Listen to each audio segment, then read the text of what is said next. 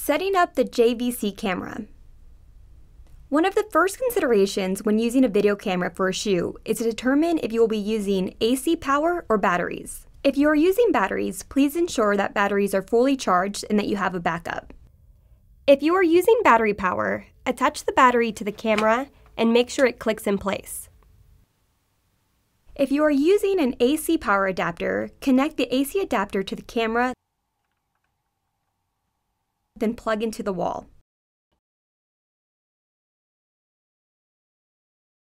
Next, set the tripod up. First, unlock the tripod legs by pulling the strap. Extend the legs on the tripod to a proper height to avoid obstructions and to allow convenient recording.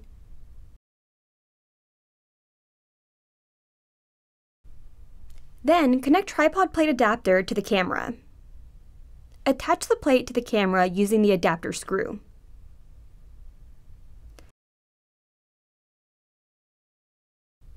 Then, slide the adapter with the camera onto the tripod base. Lock the adapter to the base.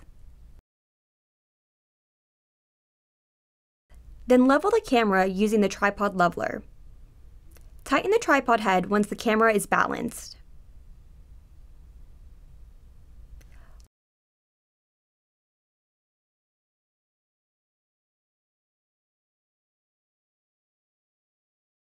Locate media card slots and insert SD cards into slot.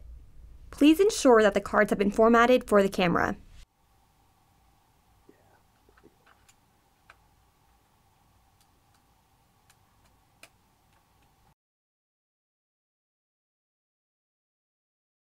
Locate the power switch and turn the camera on.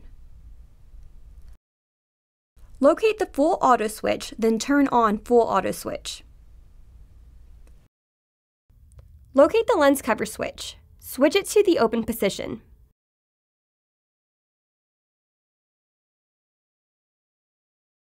Another important consideration is audio recording.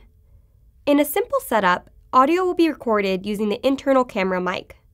No additional microphone is necessary. Please ensure that audio recording is enabled. Check that the channel switches are set to INT for internal mic. Also, make sure that the mode switches are set to auto. Once the channel switches are set to auto, the input switches located next to the channel switches do not need to be moved. Leave them in the line position. Also, in the full auto mode, the auto dials do not need to be adjusted. Ensure that the audio is working by monitoring the audio headphone and the camera meters. Please see camera audio tutorial for further instructions. You are now ready to record. Keep in mind that there are two record buttons on the camera, one located on the top of the camera and another on the side by the camera handle. Locate the record button and press. A red record indicator should be seen in the viewfinder. Please ensure that this is on. Set up shot composition using the flip out monitor or the viewfinder.